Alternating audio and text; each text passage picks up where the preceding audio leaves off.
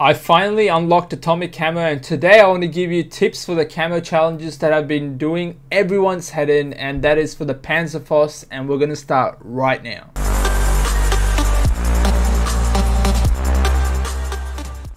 Hey everyone, Ollie Godspeed here bringing you another camo grind video and for those of you that are new here I hope you learned something new and if you do make sure you hit that like button to help with the algorithm and consider subscribing if you want to see more. Both of these challenges can be done together in the one match. And let's talk about the long shots first. I initially thought that this camo challenge was bugged because it wasn't getting tracked. But the reason was because you need to actually get direct impacts for the long shots to make it count towards the camo. So in a way, I guess it is bugged and extremely frustrating, don't get me wrong. Now, I've always been a hardcore fan when doing camo grinds, but for this particular one, you have to head to core. If you play hardcore, majority of the players will just die to the splash damage and you need to get direct impact kills. Make sure you run ammo boxes to replenish your rockets and utilize the Shiphaus 24-7 playlist while it's still there.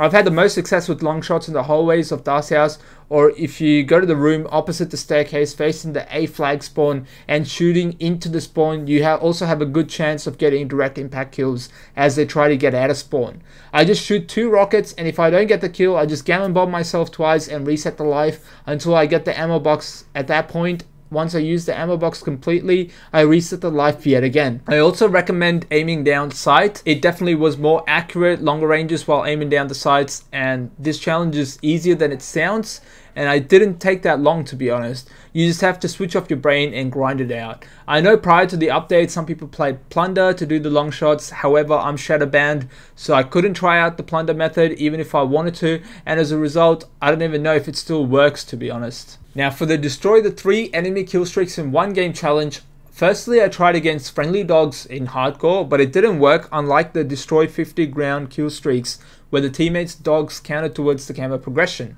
Now, I don't know if that still works or not because after the update, it, they could have patched it. Uh, I did mine a while ago, so let me know if it does still work. Now, the biggest and the best tip I can give you is that you don't actually need to kill three attack or guard dogs. All you need to do is destroy two UAVs with your gun and then the last one has to be an attack dog or a guard dog and then this will crown towards your uh, camo progression. And this will save you a ton of time and you can easily finish this challenge in no time. Now the best way to kill these dogs is to melee which stuns them and stops them from attacking you. And it only takes two melees on attack dogs, and I think guard dogs is like five, six, or seven shots with your melee. Now, once you complete this, then you can leave the match and rinse repeat. The gun I used with this was the MG42 with armor piercing rounds, and you can take out UAVs pretty quickly. Also, a fun fact, did you know you can shoot down bombing runs? Well, now you do. You can shoot down bombing runs with the MG42 quite easily, actually. Now, I did try shooting down two counter UAVs and then an attack dog, but that didn't count, so I didn't try that again.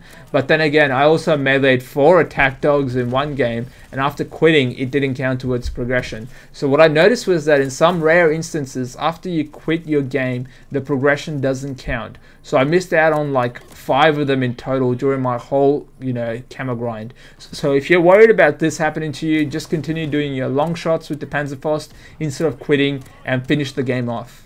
So to summarize, you basically go into Das Haus. You can also do it in shipment, but I found it easier on Das Haus for the long shots. Make sure it's domination and not TDM because the games last longer and there's a higher chance of your enemies to get attack dogs. And your primary should be an LMG or whatever gun you want to use with armor piercing rounds. I personally use the MG42 and you go for long shots with your Panzerfaust. As soon as you hear enemy recon overhead, you shoot it down with your LMG. Now, once you've destroyed two UAVs, you're basically waiting for either a guard dog or an attack dog to melee with the Panzerfaust, whilst you continue to do your long shots in the meantime.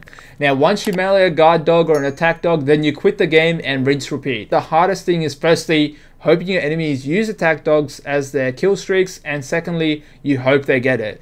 Now, if you don't care about your KD, just feed them as much as possible, and if they're half decent, they will end up getting attack dogs or guard dogs, right? And the funniest thing though is that that kept happening to me at least was I would either go AFK and watch YouTube or TikTok as I wait for dogs to be called in, um, or I would feed the enemy team. And 90% of the time, my teammates are the ones that get the dogs, not the enemies, even though I'm feeding them every single kill. It was quite upsetting actually.